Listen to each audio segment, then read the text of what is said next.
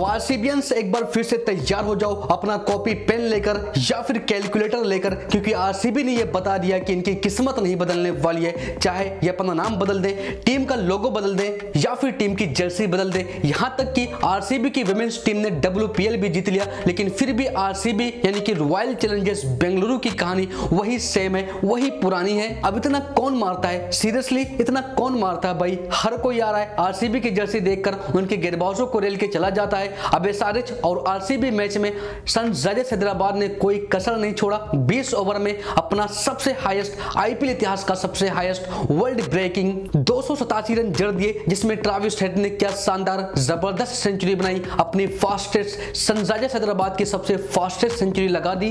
अब यही नहीं, इसके बाद हेनरी क्लासन, उसके बाद अब्दुल समन ने भी खतरनाक बल्लेबाजी की और पूरे 20 ओवर में दो सौ सतासी रन बना दिए, जो आईपीएल इतिहास का सबसे बड़ा स्कोर है। सच तो यही है कि आरसीबी फैंस होना इतना आसान नहीं है। यहाँ पर दिल एक बार नहीं बल्कि बार बार टूटता है। माना कि चन्नत स्वामी स्टेडियम में रन बनते हैं लेकिन इतना ज़्यादा रन बनवा दिया जो चेस करना लगभग इम्पॉसिबल सा था नामुमकिन था। एक बार अगर 200, 220, 230 रन भी बनते तो आप कह सकते थे कि आरसीबी मुकाबला जीत सकती थी। लेकिन यहाँ पर तो आरसीबी के गेटबाज ने दो सौ सतासी रन बनवा दिए। और एक बार फिर देखा गया इस रन चेस में कि कोहली फॉप डुप्लेसिस उसके बाद कार्तिक ने अगर ज़बरदस्त पारी खेली स्पेशली डी के दिनेश कार्तिक ने दिखाया कि कैसे फिनिशर की भूमिका निभाई जाती है। उसके बाद सभी बल्लेबाज ज़ीरो बटा सन्नाटा इनके अलावा किसी की कोई ज़िम्मेदारी नहीं है। पूरा एनालिसिस करेंगे, लेकिन सनराइजर्स हैदराबाद की बैटिंग लाइनअप इस साल इतनी स्ट्रॉन्ग है कि क्या ही कहें। अगर आप ट्राविस हेड को आउट करेंगे तो अभिषेक शर्मा मारेगा। और अगर आप अभिषेक शर्मा को आउट कर लेते हैं तो फिर हेनरी क्लासन आ जाएगा।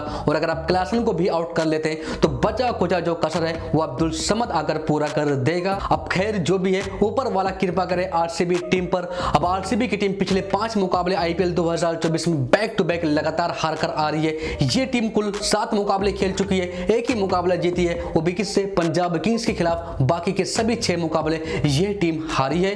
तो आईपीएल 2024 का लेटेस्ट पॉइंट्स टेबल अंक तालिका क्या है? उससे पहले अगर आप भी डेली आईपीएल और क्रिकेट की हर एक न्यूज़ अपडेट्स और वीडियोस जबकि डेली ड्रीम इलेवन फैंटेसी बिल्कुल फ्री में मुफ़्त में पाना चाहते हैं तो भी फटाफट हमारे टेलीग्राम चैनल को ज्वाइन कर लीजिए। लिंक उसका डिस्क्रिप्शन और कमेंट बॉक्स में पिन कर दिया है। लिंक पर क्लिक करिए। हमारे टेलीग्राम फैमिली का हिस्सा बनिए। अब बढ़ते हैं वीडियो की ओर। तो आईपीएल 2024 का लेटेस्ट पॉइंट्स टेबल कुछ इस तरह से है। तो पहले स्थान पर फ़िलहाल राजस्थान रॉयल्स है, जो छह मैच खेल चुकी है। पाँच में जीत मिली है, एक में हार, दस अंक इस टीम के हैं। तो वही दूसरे स्थान पर कोलकाता नाइट राइडर्स की टीम है, पाँच मैच खेली है, चार में जीत, एक में हार, आठ अंक इस टीम के हैं। तीसरे स्थान पर चेन्नई सुपर किंग्स है, जो छह मैच खेली है, चार में जीत, दो में हार, आठ अंक इस टीम के चौथे स्थान पर सनराइजर्स हैदराबाद की टीम है, जो छह मैच खेली है चार में जीत मिले हैं, दो में हार मिली है, आठ अंक इस टीम के हैं। तो टॉप की फोर टीमों का परफॉर्मेंस अभी तक आईपीएल 2024 में उम्दा परफॉर्मेंस रहा है, बेहद ही शानदार रहा है। अब इसके बाद पाँचवें स्थान पर लखनऊ सुपर जेंट्स है, जो छह मैच खेलिए तीन मैच जीते, तीन मैच में हार मिली है, छह अंक इस टीम के हैं। तो वहीं छठे स्थान पर गुजरात टाइटंस की टीम है, जो कि छह मैच यह टीम भी खेल चुकी है, तीन में इसे भी जीत मिली है, तीन मैचों में हार मिली है, छह अंक इस टीम के हैं। सातवें स्थान पर पंजाब किंग्स है, छह मैच खेलिए दो में जीत, चार में हार, चार अंक इस टीम के हैं आठवें स्थान पर मुंबई इंडियंस की टीम है छह मैच खेलिए दो में जीत, चार मैचेस ये टीम हारी है। चार अंक इस टीम के और नवे स्थान पर दिल्ली कैपिटल्स की टीम है छह मैच खेलिए दो में जीत, चार मैचों में हार, चार अंक इस टीम के हैं। तो वहीं सबसे ऊपर सॉरी, सबसे नीचे तो वहीं सबसे नीचे रॉयल चैलेंजर्स बेंगलोर की टीम है दसवें स्थान पर यह टीम मौजूद है, जो सात मैचेस खेल चुकी है, एक में जीत मिली है, छह मैचों में हार मिली है, दो अंक इस टीम के हैं। अब आईपीएल 2024 के प्लेऑफ में क्वालिफाई करने के लिए, प्लेऑफ में पहुँचने के लिए सभी टीम फ़िलहाल प्लेऑफ की रेस में बनी हुई है। जी हाँ आरसीबी भी प्लेऑफ की रेस में बनी हुई है। अभी कोई भी टीम एलिमिनेट नहीं हुई है आईपीएल 2024 के प्लेऑफ की रेस से।